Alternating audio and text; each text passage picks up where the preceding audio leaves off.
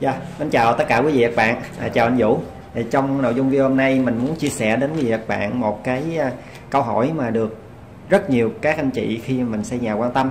Đó là khi mà mình ép cọc ép ép cọc nhà tức là xây nhà móng á thì bây giờ mình nên sử dụng cái phương pháp ép neo hay là ép tải cái nào nó hiệu quả tốt hơn và ừ, trường hợp nào thì nên sử dụng ép ép neo và trường hợp nào thì nên sử dụng ép tải. À, mời anh chia sẻ. Ừ. Thì cái ờ, vấn đề mà ờ, ép cọc bê tông cốt thép hiện nay thì ờ, đối với nhà phố thì bây giờ vấn đề đó thì nó có hai cái hình thức gọi là hai cái biện pháp để thi công ép cọc. Đó là cái vấn đề và ép neo và vấn đề thứ hai là biện pháp thi công thứ hai đó là cái biện pháp ép bằng tải. Thì vũ ờ, muốn trình bày cho các bạn biết cái cái cái hai cái phương pháp là như thế nào là khi mà chúng ta ép cọc bê tông cốt thép bằng phương pháp là gọi là hay gọi là phương pháp ép neo á thì đó là chúng ta đơn vị thi công ép cọc đó họ sẽ đem một cái máy thủy lực xuống và Ừ. họ dùng cái máy thủy lực đó để mà đè hay là nhấn cái cọc đó xuống sâu xuống lòng đất xuống. bằng cái sức mạnh của cái máy thủy lực đó Dạ. đó và họ họ sẽ sẽ sẽ sẽ sẽ, sẽ ép sâu xuống cái lòng đất dựa theo cái cái cái mã lực và cái công suất của cái thủy lực đó. Và thường khi mà ép như vậy thì tải trọng trên một đầu cọc của cái máy cái neo á tối đa chúng ta đã có là chỉ được khoảng 35 tấn. Và 35 các bạn tưởng tượng giống như là cái máy đó vận hành hết công suất thì tương đương với lại 35 tấn đè xuống cái cái cái À, cọc đó. Dạ. và và và và cái cọc đó sẽ chịu được tải trọng là không quá 35 tấn. Đó Ừ. và khi mà ép neo như vậy nó có một cái cơ động như thế này là cái máy móc thiết bị họ chuyển tới á, nó cũng gọn gàng.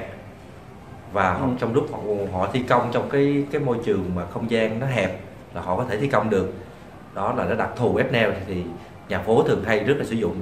Như các bạn biết là ở Sài Gòn chúng ta thì cái không gian của nhà phố chiều ngang nhà phố thì nó rất là hẹp. Thành ra cái biện pháp mà ép cọc bê tông cốt thép bằng cái biện pháp ép neo là rất là phổ biến. Vì nó thích nghi được đi lại những địa hình phức tạp địa hình khó khăn. Đó. Và nhưng mà các bạn cũng nên lưu ý cho mình cái này nhé, là khi mà máy móc mà họ vận chuyển vào để ép cọc neo đó, thì các bạn phải lưu ý rằng để họ ép được thì cái con đường tối thiểu, cái chiều rộng của con đường mà để họ vô á, tối thiểu thì nó phải từ một mét trở lên, còn dưới một mét là chúng ta cũng không thể nào muốn ép, neo cũng không được nữa. Vì cái mà đồ đạc họ vận chuyển vô những cái cẩu mà họ chế vận chuyển vô với cái con đường dưới một mét thì họ cũng không đem vào được.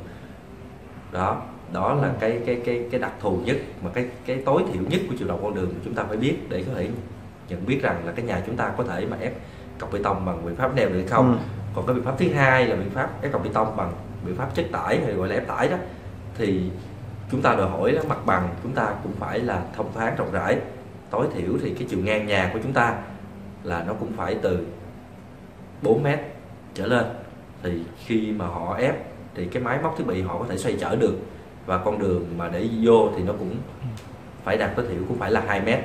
Nhưng mà cái ưu điểm của ép tải là sao? Là chúng ta có thể tùy biến mà chúng ta chất cái tải lên cọc. Bao nhiêu theo ý chúng ta.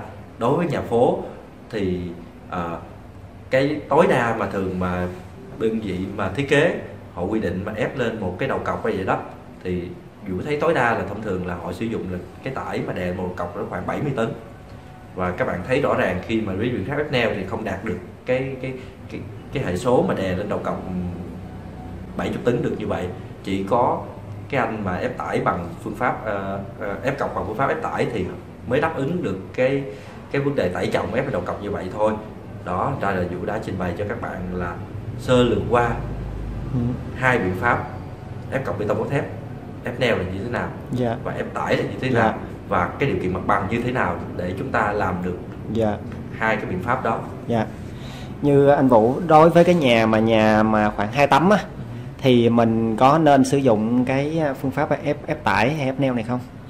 nói chung cái biện pháp mà ép tải hay ép neo gì đó thì đối với nhà phố thì biện pháp là chúng ta cũng sử dụng được nếu mà cái nhà phố chúng ta nó cao cực cái trọng nhiều mà Ừ. cái điều kiện mặt bằng chúng ta À. không thể nào để mà làm biện pháp thi công ép tải được thì chúng ta cũng phải làm biện pháp thi công ép bằng ép ép ép neo thôi thì Dạ. lúc đó chúng ta sẽ một cái cái móng mà một cái móng á, một cái móng đơn á thì chúng ta có thể là chúng ta ép nhiều tim cọc hơn để À. mà cho một cái cái cái, móng đó có thể mà nó nó nó, chịu tải trọng nhiều hơn đó nhưng mà Dạ. ngược lại cái đó là có thể là chi phí chúng ta cũng sẽ tăng nhiều hơn thôi. Dạ. Đó. Dạ.